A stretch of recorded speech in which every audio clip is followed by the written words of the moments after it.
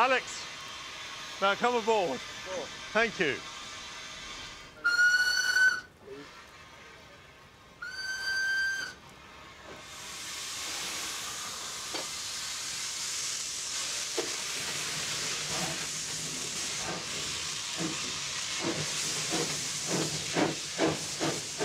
Alex, it's a wet day and you've got quite an incline here. Is it difficult to, uh, to drive the locomotive in these conditions?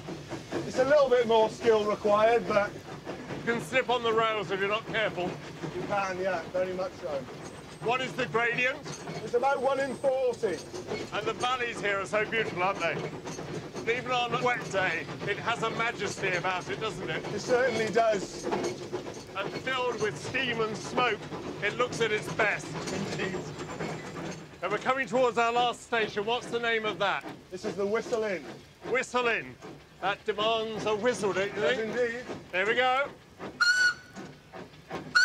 Woo! I enjoyed that. Pleasure. Thank you, Alex. And thank you, Wayne. Pleasure. Bye-bye. Bye now.